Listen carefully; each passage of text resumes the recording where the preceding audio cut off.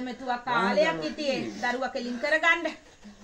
දරුවා ළඟ දරුවා ගාවට ඇවිල්ලා තියෙන පිහිටක් වෙන්න ධම්මා. ඈ ඔබ වහන්සේ හොඳ ආකාරයෙන් තෙද බල දීගෙන ස්ථානවලල්ල කරා වැඩියා බොහොම සන්තෝෂයි. එමනම් මේ ගැති දරුවා අරගෙන ඉදිරියට යනවා ධම්මා. සත්‍යද කියන්නේ? ලෝකයාගෙන් නින්දාවක් විඳීද?